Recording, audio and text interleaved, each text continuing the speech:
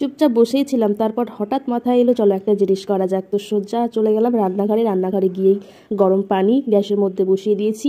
এরই মধ্যে গরম পানি হয়ে গেছে। এবার বলো তো, আমরা কি করতে যাচ্ছি আশা করি তোমরা সবাই বুঝে গেছো আমরা কি করতে চলেছি। আমরা বাড়িতে বসেই হোমমেড পেডিকিউর করব। এই শীতে পায়ের অবস্থা ভীষণ খারাপ, এর জন্য এখানে গরম পানি নিয়ে নিয়েছি। তার মধ্যে অ্যাড করেছি শ্যাম্পু আর লেবুর রস। যে দুটো উপকরণ ছিল, সে দুটো উপকরণ নিয়েই করেছি।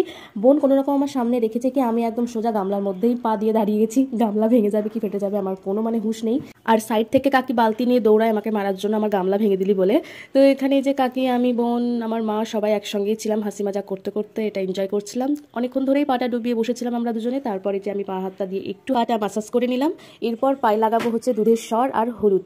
এই দুটো উপকরণ এবার পায়ে এই যে এরকম করে সুন্দর করে বোনার আমি লাগিয়ে নিয়ে একটু কিছুক্ষণ বসে থাকব। তারপর পাটা ওয়াশ করে নেব।